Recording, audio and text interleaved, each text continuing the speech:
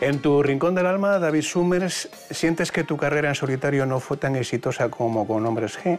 ¿O sí?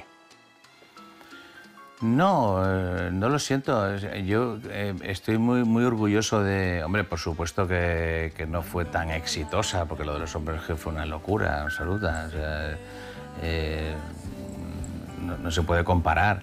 Oye, David, tienes fama de haber roto muchos corazones, o eso es un bulo. Antes de casarte, naturalmente. No, no es ningún bulo. no, no, yo, yo, no me puedo quejar, la verdad.